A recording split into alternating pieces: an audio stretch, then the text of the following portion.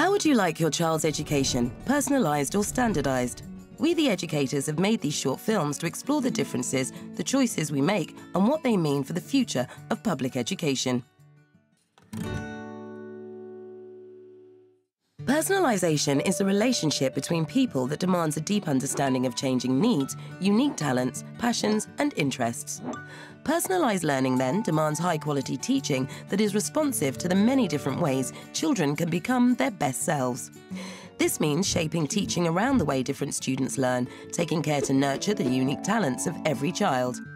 Teachers draw on a repertoire of strategies and techniques to tailor an education to meet the needs of every student, to create a great school that works for all.